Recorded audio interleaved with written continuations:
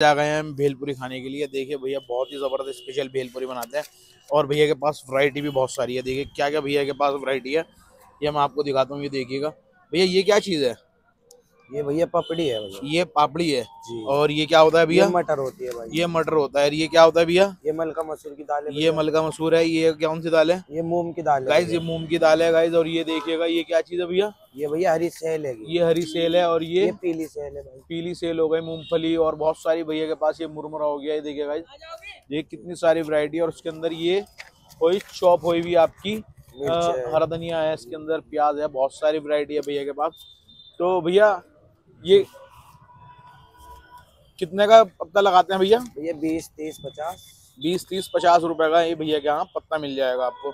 ये देखिएगा इस किस तरीके से भैया भैया फोल्ड करके दिखाना जरा एक पेपर कैसे फोल्ड करते हैं। ये देखिए भैया ने ये पैक कर लिया। तो भैया ये क्या ले रखा है आपने ये? भैया पेपर है दिखाना पेपर प्लेट के। अच्छा ये देखिएगा फोल्ड करना भैया किस तरीके से करते हैं आप? ये देखिएगा इस कितनी ज़बरदस्त तरीके भैया का। प्रैक्टिस देखो भैया कितनी ज़बरदस्त है भैया की। तो भैया ये बताइएगा ये सारी वैरायटी आप जितनी भी है इसमें सब ये भेलपुरी में डाली जाती है? जी। ये सारी की सारी भेल तो बहुत सारी आती होगी वो ये देखिएगा भैया कितनी स्पीड से बना रहे हैं। तो भैया बनाना एक हमारे लिए कौन सा खिलाओगे पत्ता? बताओ कौन सा खाओगे आप? बस कोई सा भी स्पेशल पत्ता लगा के दिखा दो आप मुझे। बहुत ही ज़बरदस्त तरीके ये देखिए भैया ने बताते रहना भैया क्या क्या डाल रहे हैं आप। ये भैया ये देखिएगा भैया ने डाली इसमें पापड़ी है भैया। पापड़ी डाली भैया ने। ये भैया तो मटर सारी वैरायटी डालने हैं भैया। ये देखिएगा मूंग की दाल ये डाली भैया ने ये सारी ग्रीन दाल सेल। गाइस आपने ग्रीन दाल सेल कहीं देखी है तो ज़रूर बताना। ये देखिएगा मूंगफली और ये डाला लच्छा। और ये क्या है भैया? चने की दाल दाल ये डाला भैया ने मुरमुरा। ये देखिए भैया और ये क्या डाले भैया? टमाटर प्याज देखिए भैया ने कितनी सारी इसके अंदर टमाटर प्याज ऐड कर दी। ये क्या है भैया? ये भैया मसाला है। ये मसाला है। जी। ये देखिए भैया ने अच्छी तरह से मिक्स कर रहे हैं। इसके बाद ये क्या?